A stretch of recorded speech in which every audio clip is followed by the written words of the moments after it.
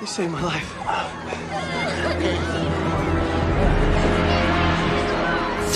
Thanks for that, McKinley. Shut up, McKinley. We have to get out of here now. Oh, what's the deal? Ian McKinley. He causes my death. In my picture, I was wearing the McKinley Grand Night shirt. He's the clue. There's a first aid tent. This should be security. Get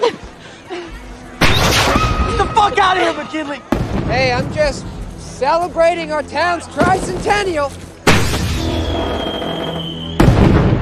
You followed me! Oh, you are paranoid. But hey, I saw what happened. And next, right? You're the end of it, aren't you? Man, I would be paranoid too. You didn't even believe me. Yeah, well, seeing is believing. Then you have to stay away from me. Have to. Wow, that's extreme.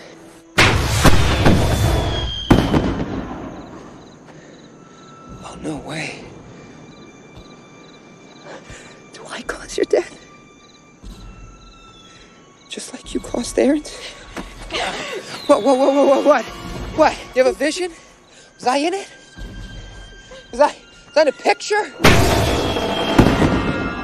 Just tell me how to start it off! Let's get this over with! You'll save me if you just stay away. Then it'll all be over. What do I care? It skipped me. For me, it is over. I'm not dying. I'm not dying!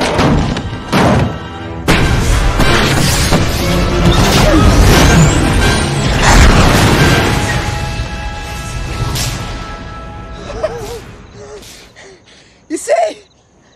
I'm not gonna die! It's you, Wendy! You're dead!